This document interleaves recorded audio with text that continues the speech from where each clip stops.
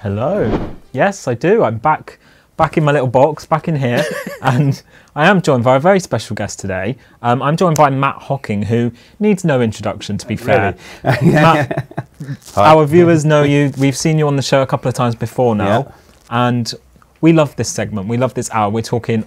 Well, we've got it in writing behind us. We've got optimism in action. Mm. Um, before we jump into all the creative chaos that we uh, we love to talk about, Yeah.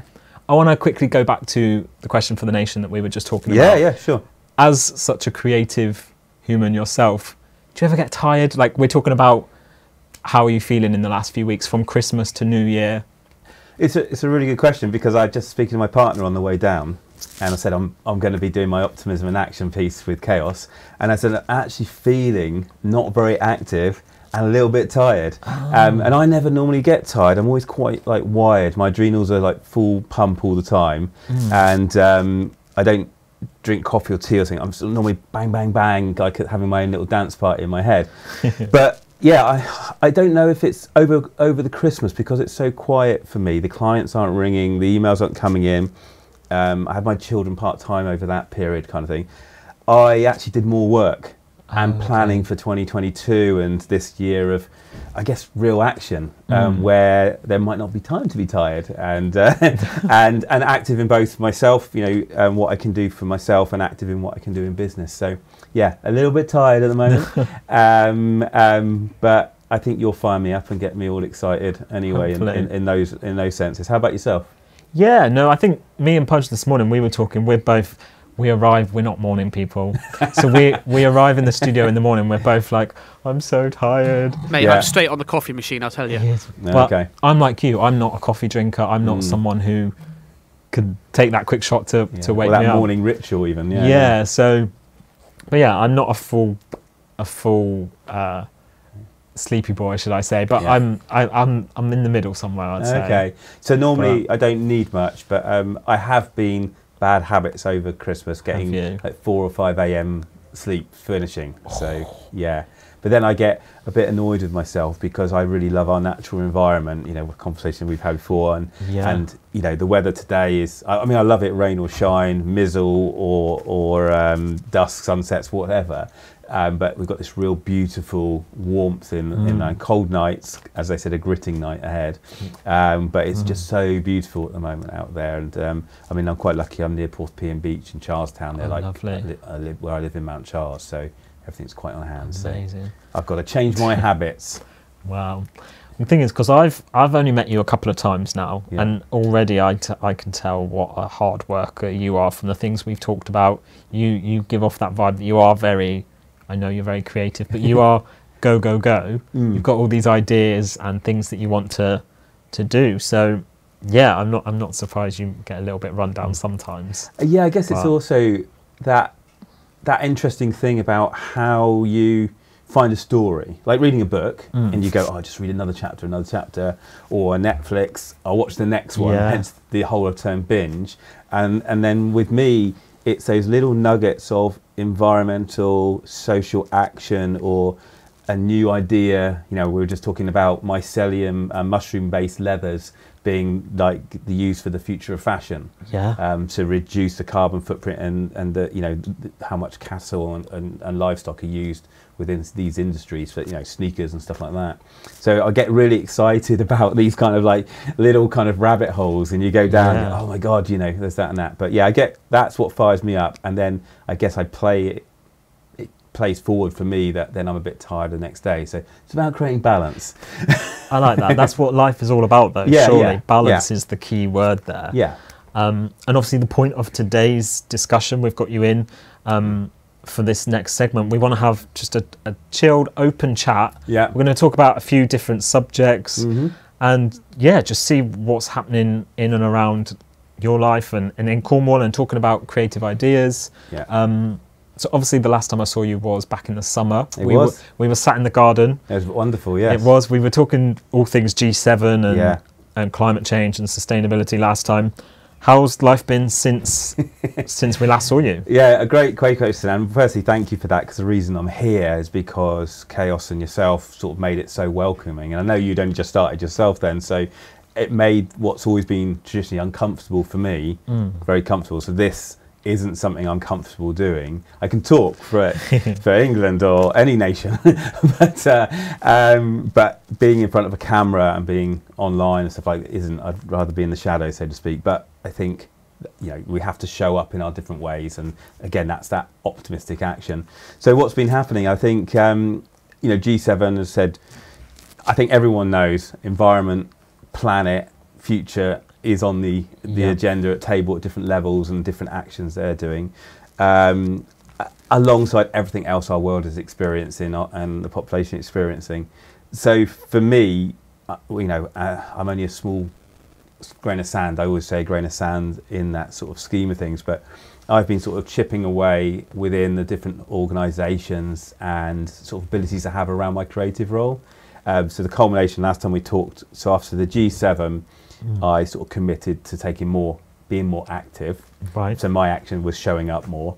Uh, and then that culminated in an active action, which um, we talked with Pudge last time, which was the Cycle to COP. Now, Cycle to COP was brilliant, you know, 540 miles, um, brilliant people that I didn't know at the start, had common ground, and we went forwards with. And at COP, we saw this culmination of lots of conversations, lots of talk. And I guess what came out of it for me is there was a lot of talk, a lot of pretty words, but not enough action. Ah.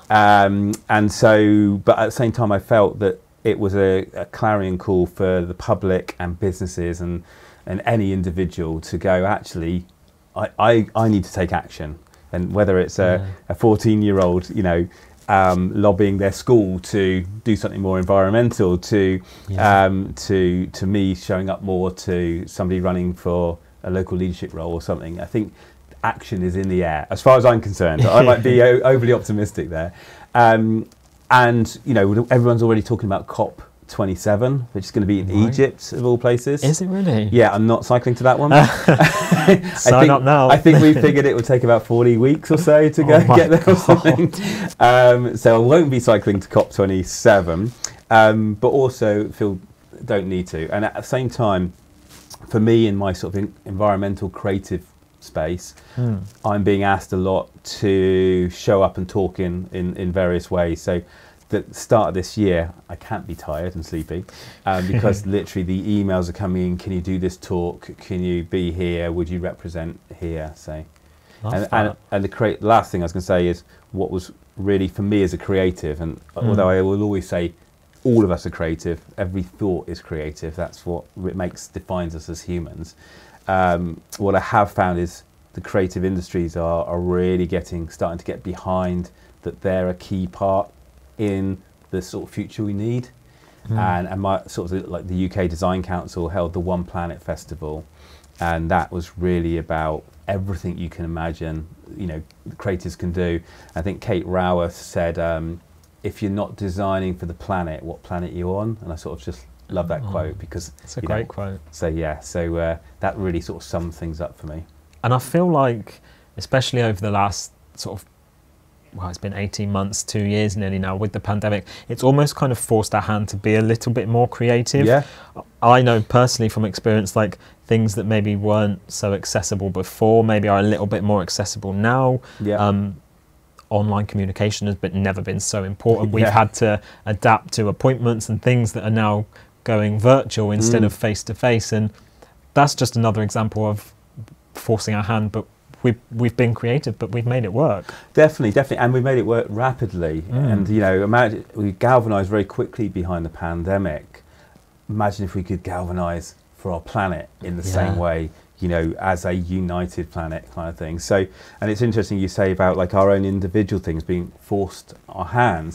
But then if we look at creative expression through science fiction and stuff, this sort of stuff was being talked about 100 years ago, 50 Yeah. years ago with various writers. And, um, and so it's interesting how the, the what was once imagination, considered imagination, that Yeah. human ability to create new ideas is now become reality. And sometimes, probably going off on a bit of a tangent here, but sometimes you wonder is like, were other scientists and, and, and tech brilliance of our times influenced by watching Star Trek and seeing a little device that they could do this on, you know, microwaves, all of it. It's all kind of magic to me. Um, but but it is kind of like the that sort of like that that science fiction, that imagination, that storytelling becoming reality. Mm. Yeah, no, that's that's a great point. And this morning we even read out a news article. Um, I can't remember the exact thing. Podge and I were reading it. It was about. Um, it was mentioning the flights between Newquay to um, London, And, and they were talking. biofuel. Was it? It was to do with, I think the council have apologised that they didn't take into account um, the climate issues and things. And we, Oh wow! yeah, Podge, I don't know, Podge, if you can remember much of that story we read this morning, but I remember it being really, really interesting how they've actually issued like this apology now. Yeah, that is Um, really interesting because I, I was a bit unsure when I I don't do a lot of news I'm afraid so it sounds bad Right. I do a lot of research but that's kind of linear to the things I want to find out about and materials and stuff in the work I do. But to keep me my own optimism there in a stubborn I'll say stubborn optimism I actually shut down a lot of the news channels because you end up just just hearing the bad stuff. Yeah. you know there, there's a term good news doesn't sell. So um, and so I, I've kind of filtered my own system. So I didn't know that but I did see the the flight happen Yeah, see, this is this is what we were Cornwall Council for, for policy failure. So, yeah, serious omission. wow Yeah, we, we I, li- and it's a bold serious omission so yeah yeah, okay. a, a big story this morning that, that sort of come out, and I just thought it was important to mention because yeah, it's mm, Yeah. we're talking about climate and our world and how they mentioned they yeah they That- forgot to use this wheel. the donut economics Yeah. which is by Kate Raworth who I just mentioned she's Ah. the the lady that created the donut economics model Wow. So, um, so if she's saying, you know, if it's not designed for the planet, what planet are you on? I think it's with anything we do now, and I think, yeah, uh, th- that's really interesting. So I'm going to have to look at the news now yeah, sorry. find out more. no, no, that's fine. But also, it's it's in the sphere of what I love because it's interesting that at some point somebody's had to make them mm. accountable yeah. to that and said, why have you sort of said that? Because I think maybe sometimes I was talking with Henry earlier, slightly going off on tangent from power of creativity, but it's like the whole tree planting. Everybody's kind of planting trees and going, oh, I, cool, I can plant a tree, I can fly, I can plant a tree, I can eat whatever I want and stuff like that. And sort of, yeah, you can, but actually just planting trees isn't going to solve the sort of the issues of our time. And again, Yeah. we've got to look at this, what our own individual actions can be that kind of, again, what I always say, work for ourselves, bring happiness into our lives, um, and feel like we are, you know, doing something. Yeah. And I love what you said earlier as well. It's it's all very well talking about it, Yeah. but it's actually these Yeah. words can sound as fancy as anything, but it's actually having a plan or doing something about it. That's that's the thing, isn't it? Yeah, totally. And I think So- there's a, a booklet um, I read years ago um, from one of my sort of sort of favourite. I'm not allowed. To, I don't know if I'm allowed to say brands and things. Yeah, go there. for it. It's fine. So uh, at the time, it was one of my favourite companies, a company called Howie. So when I first got into my sort of environmental creative action back in sort of the 2000 period, um, there was a, an organic clothing company, and sort of just there were these spots of brilliance out there in the sort of the world. So I just loved loved their brand, loved what they were Mm. doing, and also loved the product, and it was within my sort of price bracket I could Right. afford. But they um, brought out a book. The founder David Hieatt brought out a book called The Path of the Doer. And it, Okay. I love books that only take a few minutes to read, that are not just children's books. any any pictures in them as well? There's a few pictures, yeah, I like a good picture. But um, it's called Path of the Doer, and it's about this size, and it's nicely designed, so it appealed to me creatively. But it was really that 99% of all ideas are never acted upon, and it's only the 1% that really happen. So, and it was basically empowering people to be be the 1%. Okay. Um, and I think it is. I think consciously, there's loads of ideas all the time. You know, Mm. you see films that look really the same and go, they're pretty much the same script. They Yeah. just come out. Did did they just steal the idea from each other? There's somebody behind the scenes sharing it, or was it was two people actually consciously came forward with that idea, pitched it to two different film studios. They went for it without knowing the other was doing it and things. So, and so I, I believe many ideas manifest simultaneously across the globe, but only a few of us sort of act upon them and like stand up and go, "This is my belief. uh, This is um, this is my action, and, and this this fires me up, and this is my fuel." Yeah, that's fantastic.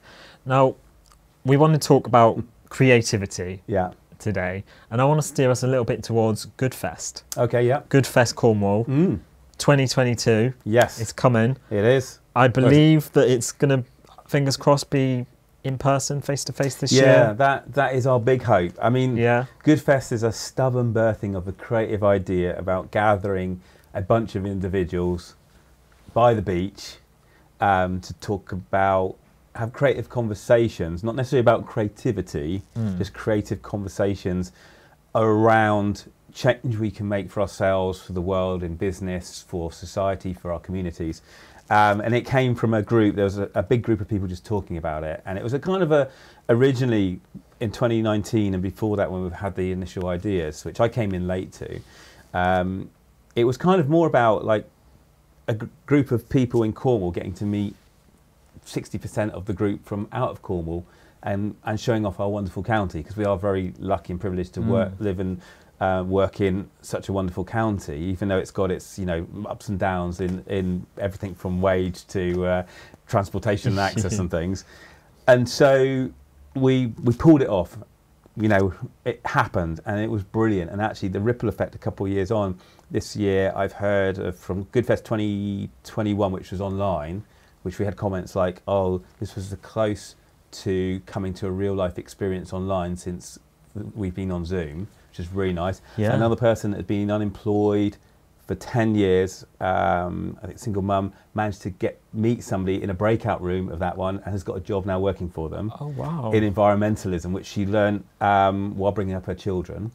And then another lady, Lucy Bunce from Big Small Good, um, she um, she quit her job after Goodfest 2019 of 11 years to go on her own business path. And this year she's just become a B corporation like Leap, so a business that's certified for good and uses it as a business as a force for good. So we've had some great outcomes. So 2022, we haven't got a theme yet okay. because we've decided we, we're going to just do it, and it's we're going we're just looking at booking somewhere on the north coast, probably sort of Bedruthan Way or something like that. Um, and then we've been having lots of conversations. So what it will look like. So if I'm going to just throw ideas out there because Mm. we haven't we haven't got any confirmation, we haven't got any money to make this happen at the moment, Okay. or anything. But I think sometimes you just got to again act upon it Yeah.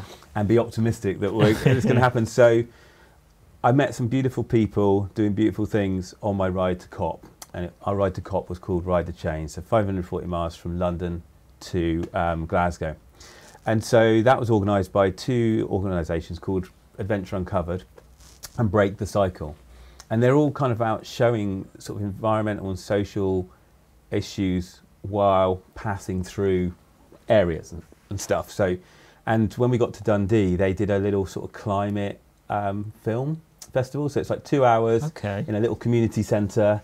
And we had two hours. We had a wonderful speaker, James Lavelle, who travelled, um, I think, money money free or something, to to South America to ask the question about what do young people over there want to happen for the future of the planet, kind of thing. So it's really good. So the idea is we'll have the festival as an option to go to, which Yeah. will be two days on the cliffs of Cornwall, um, some good food and some good conversations with some good people that will hopefully stimulate more change and action.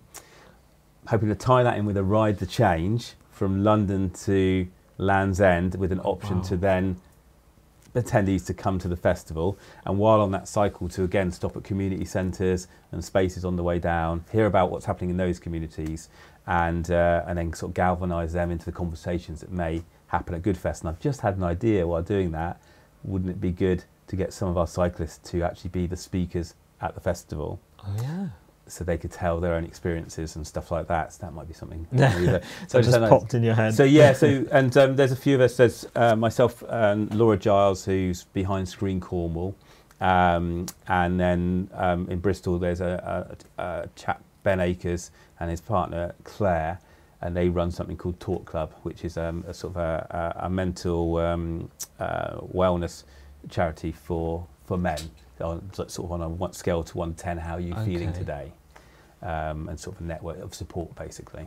So, um, so yeah, so Goodfest is coming. and we've got a bit of time to make it happen, um, and we'll be going out to see if we get some sponsors. Actually, saying that, we have had people come to us and say Yeah. we'd like to support it. So, um, so yeah, and for me, conversation is it's great, but conversation that's stimulated by maybe hearing somebody else, and then you're with the crowd that's been listening Yeah. and having that time to have the conversations between the conversation. I think that's where the pure magic happens. Yeah, you never know. That's the joy of it. You never know where these connections are going to come from. Yeah. Like you said, for that lady to go into a little breakout room and then now she's got a job in a field that she could have only dreamt of Yeah. is amazing. And it wasn't an outcome. We didn't even think about that. Yeah. And so what one of the things I want to do this year is gather the stories of Goodfest and you know there's a lot of festivals out there whether it's music, ideas, um, um, you know, but for me having this in Cornwall with it just to Mm. hold those conversations but also be inspired by what's around us. Uh, and what we've always done in the past is there's been a certain number of tickets that um, uh, locals can kind of apply for, so they're Right. they've been free. Whether we can do that again this year, um, so trying to support that because again, sometimes we don't have the money to go to all these things, and it's kind of how do we make things a, more of a level playing field for accessibility for all. Yeah. So yeah, that's one of the one of the uh, one of the many things that are on the on the cards, and uh, you just Oh. reminded me I got to push a bit further with that one. So no set dates or times yet, but you're working on Well, it. it will be Yeah. either the we just we, we have got a venue. Okay. We're trying to just working out the price. Actually, we're gonna we- if we have it, we're gonna hold it at the at the previous venue, but I'll just wait wait to reveal that. Yeah. Those that have been to Good Festival kind of know what that is. Cool. Um, and so we're looking at the last Thursday and Friday of September, or the first Thursday, Thursday and Friday of October. Okay. Um, and then the idea with that as well is that, you know, come to Cornwall, pause, get stimulated in these creative conversations, and maybe have time to stay and do something yourself afterwards before you, Yeah. you rush back to wherever you've come from. Yeah. I mean, you had me when you said good food and good company. what more could you want, to be fair? This is true. I mean, I think it's always essential to have a good mix of anything, um, uh, of food. Like I ran an event um, in October, me and a guy called Russell, who co-chaired B Local Cornwall Plus. So it's kind of the B Corp movement for the, uh, Right. for Cornwall and Devon and beyond. The businesses that are B corporations in, in Cornwall already, and then anybody interested. But we held that at Old Bakery Studios, and we had the chef Ben Quinn, who runs Canteen Cornwall and Okay, yeah. and Newquay Orchard Canteen as well.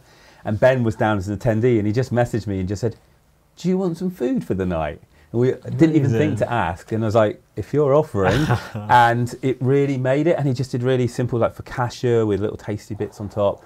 And we didn't charge anybody to come. Um, Leap sort of um, financed it and stuff. Old Bakery Studio supported it, and we just had a really good night. And on a wet and windy night, with the, the rain coming down, like 75 people turned up to hear a bunch of us talk Wow. around the things we're doing in business to make make a difference while running our businesses. So I, I love that, and you are right. A bit of food, and it had a bar which you had to pay for. I think mix those two together is good. And the first Good Fest we did, um, Ben actually helped out on that, but we had a long table, um, so 100 people all on one table, and um, we just set the meal, and the, the weather played ball, and it was just Okay. fantastic. So I think when you create an experience, it's curating it as best you can. Yeah. So some of us res- respond to the, the t- speech, some of us respond just to time out, the atmosphere, others who they met, others Yeah. the food. Me. yeah. So for me, as many little little hooks in there to, to get people excited and make you know that they can make a difference, Brilliant. that they can take action is is, is the thing for me. Fantastic. And talking of along the lines of festivals, obviously the Creative Coalition Yeah. is coming up. How does that differ from Good Fest? So Creative Coalition, I've been asked to represent the creative sector um, alongside a number of other speakers on a panel. So it's a free online festival that attracted over 10,000 people worldwide last Wow. year. It's put on by Creative UK. And um, so I've been asked to be on a panel around the climate emergency. And so it's it basically it's asking, well, say climate and ecological emergency, because I think it's there's two things that we should have on the t- table that are happening. Right. It's not just climate; it's it's everything on the planet as well. And um, so I've been asked to be on this panel, answer that question alongside another number of other speakers. So they've got a, a poet, uh, an actress, uh, actor, um, um, and various other people, filmmaker Okay. and I think it's all representative for us in our craft what we're doing to address and when when maybe we started on our journey to be tackling the issues Mm. of our times with our, the way we do our work and our craft. So that's going to be on the 1st of February. Okay. I'm fairly unprepared for that, um, and just because I've got there's quite a lot to get through. And I mean, the good thing is I can talk from the gut. I'll say the heart because my it's, the gut is where my stuff happens rather than here. The head stops you doing a lot of things. Uh, we were talking about earlier, like I can't necessarily repeat a quote that I might make because it will just be gone in Yeah. a flash because it's come from here and the heart and stuff. In the moment, kind of. thing. So, but our one, although it's online, our one, subject to what's happening with COVID and stuff, will be Mm. filmed at Eden with Brilliant. a panel live um, there. So it'll be a live um, stream. You can just go to the um, put in Creative Coalitions 22, and it comes up with everything. So. Uh, Sounds good. and they've got some, you know, very big speakers from, you know, um, various big, big industries. Yeah. Um, so it's, it's real proud to be involved. But at the same time, that showing up, it slightly makes me uncomfortable. yeah. Um, I was going to say, um, what an honour that must be for you to actually be invited as a speaker. That obviously proves, you know, that people respect you and the work that you do. So that must be a real honour. Uh, yeah, definitely, definitely. Um, uh, but again, I guess this is where our inner demons, the head bit comes in, where you go, uh, actually, there's better, more eloquent speakers than I that, that could be there Mm. that would get to the point. I'm just being honest, kind of thing. And again, my optimism in action is to put myself into uncomfortable spaces. Yeah. so, and, um, and and show up, and then swiftly from Creative Coalitions the week after, um, the iMayflower sort of network up in Plymouth are running something called um, Spillover, Right. which again I'll be talking about creativity, the you know what the role of the creative in the sort of environment, this sort of climate and ecological emergency can do, which may seem overwhelming. Just you know, I'm, I'm aware that we're talking and people could be listening and and going, oh my god, this is this is a bit too big and a bit too much. I can't do anything to to make a difference, but this is where it comes into. It's the actions that we feel we can do ourselves, and Mm. and that may be something small, just going off and doing some litter picking, and you could say that's n- does nothing in the scheme of things, but actually, if it makes you feel better, that's a Yeah. start, and it may encourage others, you know, to take action. Go, oh, actually, you you doing that, I would, I, can I come out for a walk for you? Then you're having a walk, and then you're talking about things. We talked about talk it out. Yeah. So you're in a space outside, maybe with new people. So there's the action happening there, and then you, the magic of what may come from it. And I love that. And I got a friend um, who'd love to bring on something called Pat Smith, Action Nan. Right. I don't know if you've heard of her. No. So Pat is uh, Did you say action now? Action Nan. Amazing. Yeah. uh, we designed a logo for her. It's of her like a little caricature of a parachuting lady with a dog. um, and Pat is brilliant, and it'd be really great to hear from her um, as an older older than me person because I'm older than you. Um, and she's out most days beach cleaning, litter picking, but Wow. galvanising her community and other communities like Meva to to look after the community. Brilliant. And you could say, well, should they be cleaning up after others? But there's always going to be litter, plastic waste coming in until we, we figure Yeah. out how to upstream stop the plastic problem. Um, so Pat is out there, and actually she's she's appeared all over the world, and to such an extent that we had a conversation just before Christmas. Um, we went out um, for one of our kind of catch ups. She's kind of a, a client that's become a good friend. nice. And um, and she's like, what, what, Matt, what would a global action NAN network look like? Because I'm being asked by other NANs around the world that I'm an inspiration to. Could we do something? So we're looking at a global action NAN network. Okay, we need to get we need to get so I'd like to get, sometime. I'd like to get Pat in, in at some point, and maybe like with yourself and Pudge, like just have both of us on on the uh, Yeah. on the sofa. Oh, that sounds And- great. But just another, you know, for me, that's like that hopeful, optimistic action. yeah. You know, um, you could say should uh, an elderly lady be? she might tell me off for saying that term. I'm being really bad probably with my terms. Um, should should anyone be on a beach having to pick up litter and stuff? But people are on beaches. They are walking their dogs and things. So there is an opportunity to do it while you do it. It's a two-minute beach clean movement by Martin Dorey as well, which is all around. Just spend two minutes on a beach. Whatever you pick up in two minutes, take it off the beach. Yeah, I mean, we've just had just before your hour sort of before you arrived today, we just had a whole segment with the Beach Guardian. Oh, Um, Emily, yeah, Emily, yeah, and she's, she's- amazing. Yeah, and the work that she does. So it is Yeah. so true. If we all just did a little bit, yeah. It, it sounds cliche, but every little helps. I think it's it? it's doing something rather than doing nothing, you know, Yeah. and being somebody rather than leaving it to somebody else.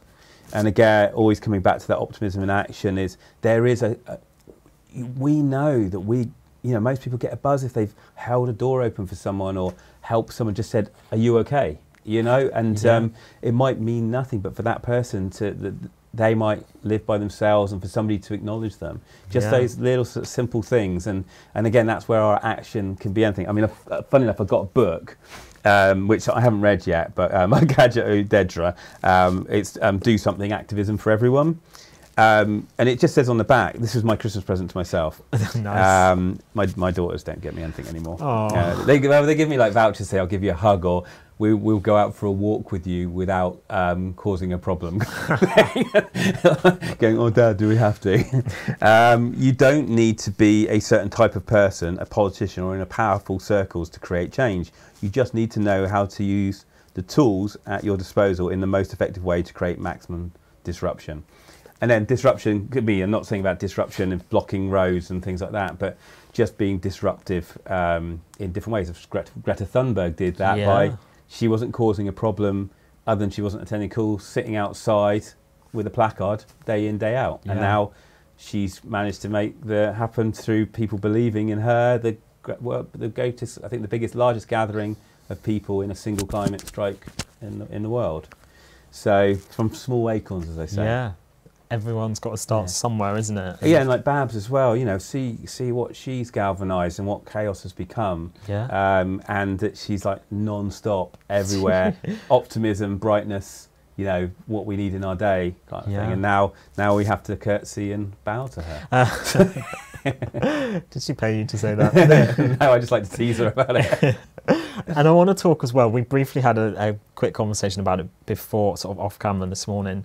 Um, you mentioned this thing called the board meetings. Yes. And I want to mention it because I think it's absolutely fantastic and I love it. And it's along the lines of optimism, creative. It's, it's thinking outside the box. And Yeah. as an employer, I think it's a really smart and clever move to build on relationships and honesty and openness within your team. Yeah. Um, tell us a bit about what what's a board meeting? Well, this is, so we've got two different things. So within the, the the board meeting is actually a lot of individuals who run their businesses have always been asked for advice. To tell you the truth, I'm I'm sort of winging it in business. I'm just doing what my gut tells me to, what but based on my mm. values to make a difference while making a living. And the board meetings were around the idea that I love nature, I love surf, cycle, walking. We live in a beautiful natural world, but I wasn't getting out in it enough. And it's my own fault that my computer is calling to me more than nature was. So I tried to turn it around to get the best for me in a way. yeah. Could call it a selfish board meeting. and the idea was certain clients that I know would probably like the idea of it. I was saying, do you just do you fancy a board meeting because it is about advising where your business is going? So like a, a board, you know, executive board or something. Yeah. But the idea is we go out on a paddle board or a kayak or a surfboard or you know whatever really, and we have a conversation. So I took a couple of individuals out, and it was I, seismic's my word of the year, by the way. Um, well, I'll find out what your word of the year is. Minute. Oh, gosh. So I, you'll hear me use the word seismic about change. For me, there was a seismic shift. I got real brilliance out of it. But what I noticed for those that I took on our board meetings, rather than a cliched meeting where we talk over everything, um, how's your finances, how's this, how's that, those individuals talked about the heart, the reasons why, you know, the, the, the why their business existed and what they hoped for it and the problems, the things that might be holding them back. There's always something holding us back. If we if we care for something, there's always, I would say, from my experience, a care point where you might be risk averse because you're you, you're more careful about your people, your footprint in the environment. So yeah, it's getting out in nature. So I just tried them just out of Porthsea in my local haunt. I wouldn't want to go out on a board meeting on a uh, a busy like a you know kind of a, a, big tide day or something like that. I wouldn't. And obviously, I'm not a lifeguard. I'm not there to save them. So I've got to hope that they know how to paddleboard, and it's not the first time. But but for me, it was just being in nature, talking about business, Mm. and that's again that creative way that how do you get sometimes the things that you'd like to do but be creatively look about? You've got to do them. They're part of your job Yeah. or they're part of your day to day how can you just twist it to work for everybody?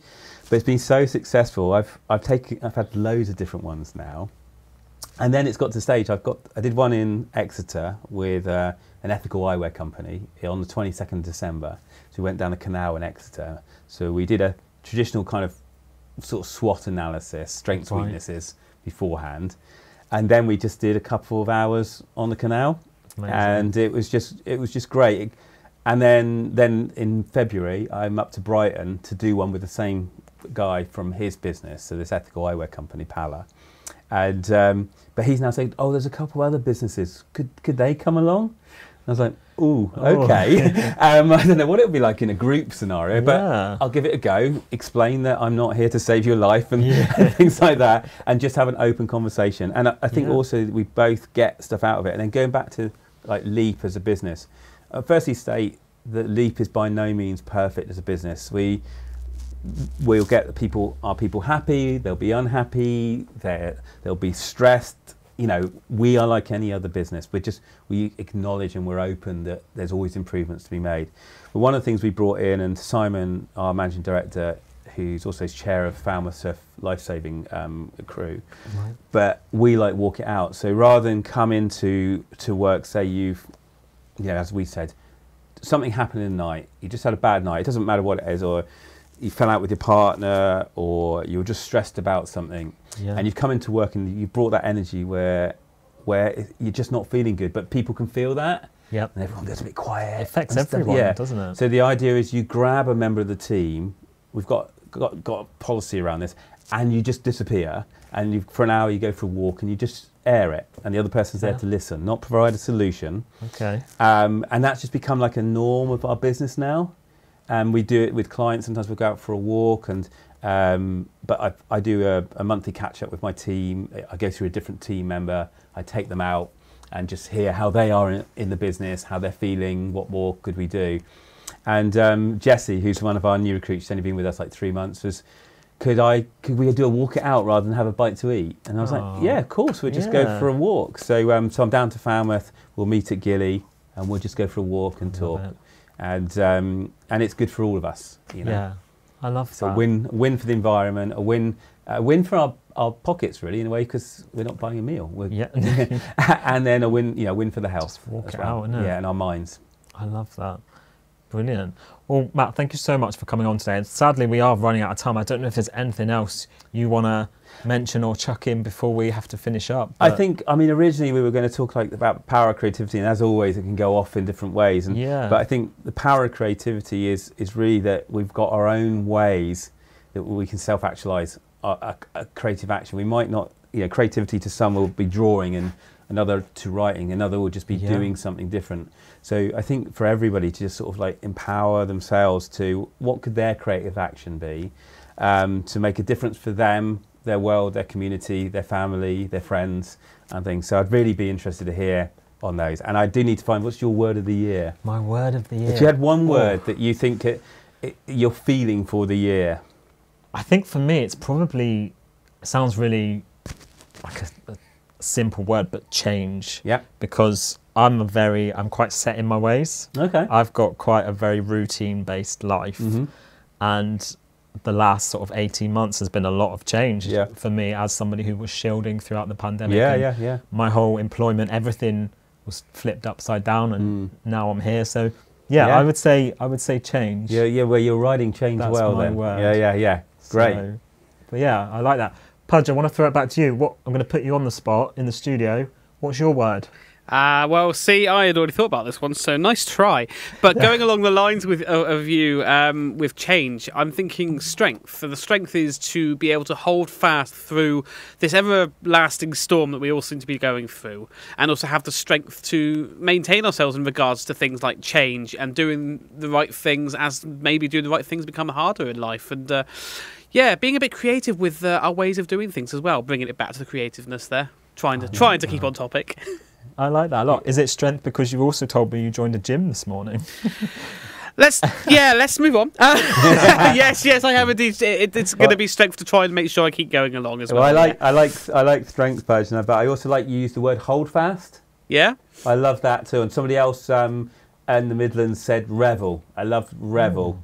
Um, they're going through some quite um, big ups and downs, but they got to revel in the happy times and, and the stuff that they've got. And I, you don't hear the word revel. I do love That's revels in the chocolate. Yeah, yeah. Not the coffee Um, one. But though. I, I No. love, I love, you know, I love the power of words as well. And although I did say the line, um, "No more pretty words, let's take action," that's more around kind of like the, the, the words, um, you know, Yeah. the bigger organisations use sometimes to soothe the fact that they aren't taking action. But no, I'd be really interested in any other people's, Hmm. um, you know, word of the year, and then to see at the end of the year uh, how did it manifest. But I reckon it's a seismic change year, a year of a year of action. Um, we are going to be in the long haul of what the pandemic is. It'll probably be an endemic, I guess they're going to declare. So, um, um, but um, yeah, what actions people will be taking. But thank you for having me on and letting me me talk and Anytime. and you you know uh, coming back to my first conversation with chaos was with you anyway. yeah, so, full yeah. circle. Yeah. Fantastic stuff. Thank you very much there to Matt Hocking and obviously Ross. I will see you in a moment, my friend.